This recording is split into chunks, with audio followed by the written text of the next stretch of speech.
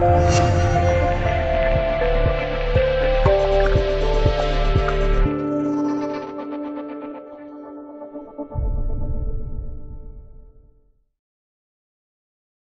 年各地的国庆礼庆，无人机编队表演的身影出现的频次不低。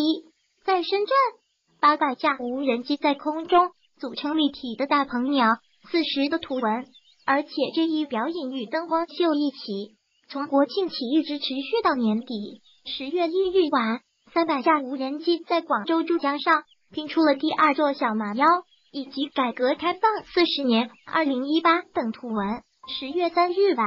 南京一家房地产公司在热门景点南京眼上空，用五百台无人机组成“国庆快乐”文字矩阵为祖国母亲庆生，连带着给楼盘打了一轮广告。近两年，无人机编队表演渐渐兴起，而进行这样的无人机表演，价格也相当不菲。记者采访了解到，一场二百架飞机的小规模表演服务，报价在二百万人民币。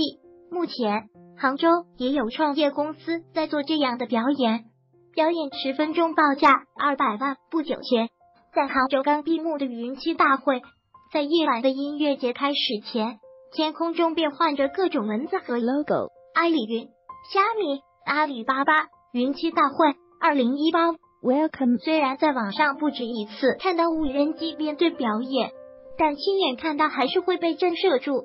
同行拍下视频发到朋友圈。有灵魂的无人机，在云栖的这场无人机表演是由广东一航执行，是国内无人机表演的领头团队之一。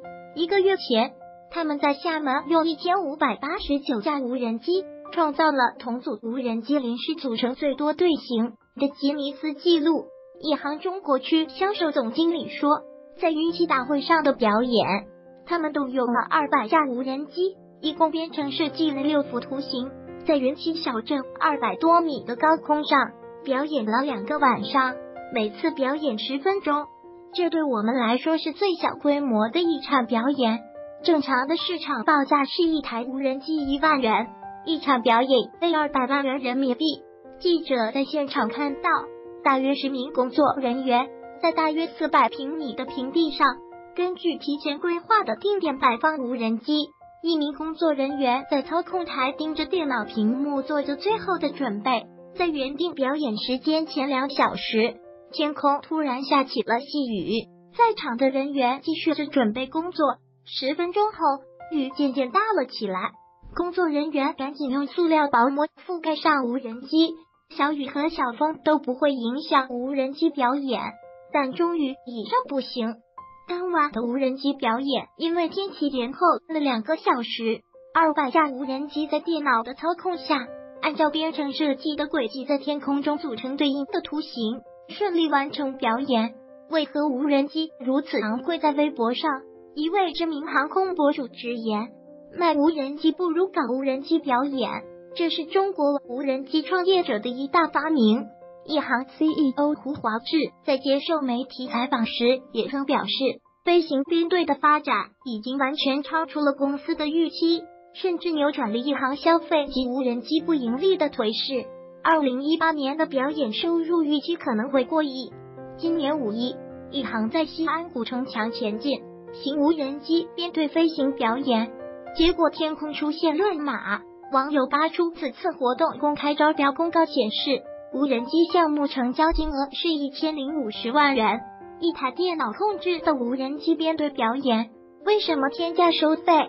记者咨询了一位业内人士，无人机编队表演有很多技术难点，由于普通 GPS 定位可能导致数米的误差，在无人机升空时可能导致炸机、撞击等安全隐患，所以大多数室外无人机编队表演。主要运用差分 GPS 来定位，可以达到厘米级，这样就能顺利进行编队了。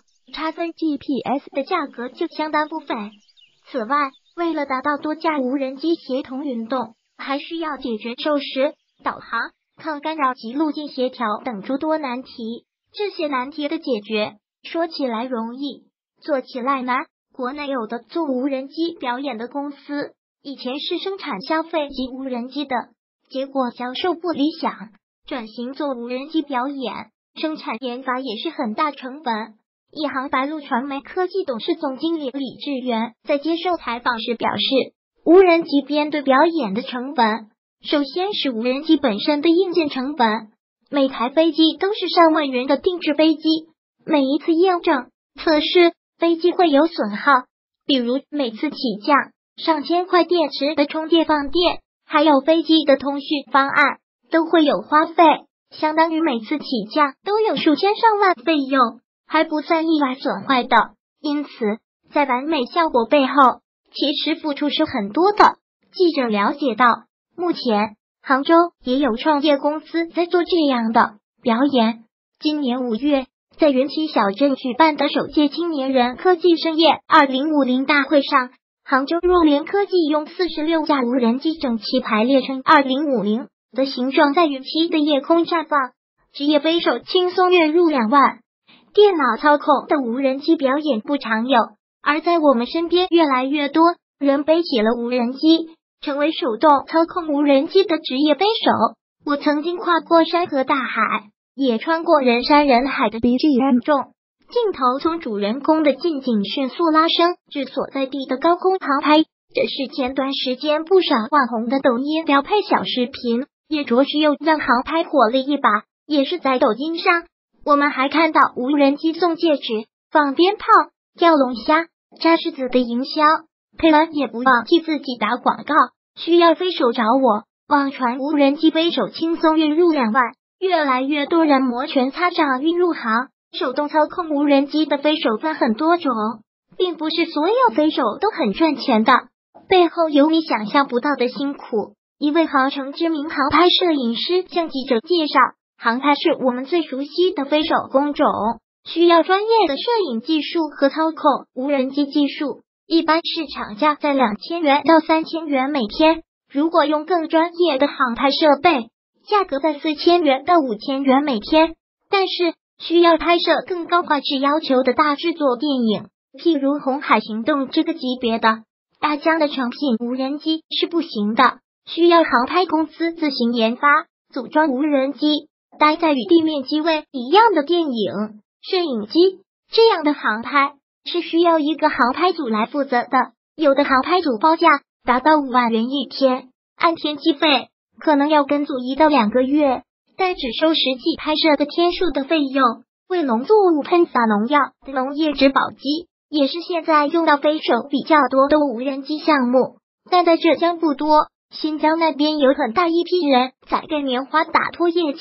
广西也有不少人在做甘蔗、水稻等作物的飞防作业，这些飞手的工钱是按喷洒作物面积算的，几块到十几块钱一亩。如果单子大，一天能做到上千亩，收入还是可观的。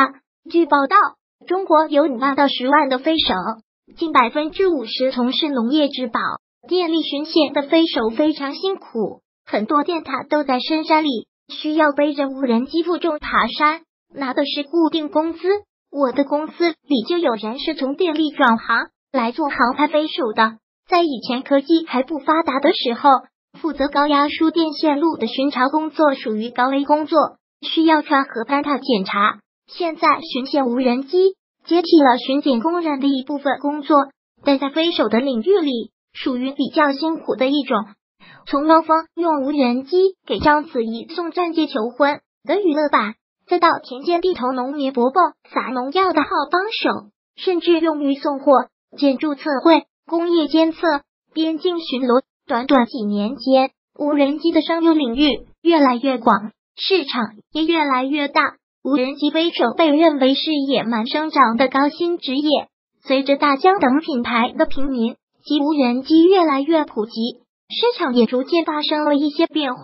一些常有无人机作业需求的企业会选择培养自己的飞手，对企业主来说更节省，而非雇佣职业飞手。上个月，二零一八全球无人机大会在成都举办。会议介绍，截至目前，全国注册无人机数量达二十四万架以上，经过严格培训后的持照人员已达四万多人，但真正持证上岗的飞手并不多。